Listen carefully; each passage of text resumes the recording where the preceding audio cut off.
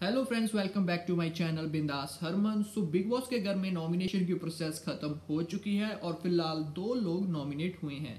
सबसे पहला कंटेस्टेंट जो नॉमिनेट हुआ है, उसका नाम है शार्दुल पंडित। शार्दुल पंडित बीबी की अदालत की वजह से नॉमिनेट हुआ है। इसके बाद फिर से एक नॉमिनेशन टास्क होता है, जिसमें अगर आप सेफ़ होना चाहते हो तो आपने सामने वाले कंटेस्टेंट से कोई टास्क करवाना है। उसमें जो भी कंटेस्टेंट टास्क दे रहे थे, वो सभी के सभी दूसरा कंटेस्टेंट करता जा रहा था और सभी लोग सेफ़ होते जा रहे थे और फिर बारी आई रुबीना की। तो रुबीना को ये टास्क दिया गया था कि वो जैस्मिन को ये बोलें कि वो रुबीना को सेव कर लें और अली को डायरेक्टली नॉमिनेट कर दें। लेकिन जैस्मिन वहाँ पे कहती है कि अली मेरे लिए शो में आया है और मैं अली को चूज़ करूँगी, जिसके कारण रुबीना नॉमिनेट हो जाती है। सो so, अब शार्दुल एंड रुबीना ये दो लोग नॉमिनेट हुए हैं बाकी सब के सब सेफ़ हैं लेकिन आगे आने वाले वीक में और लोग भी नॉमिनेट होंगे।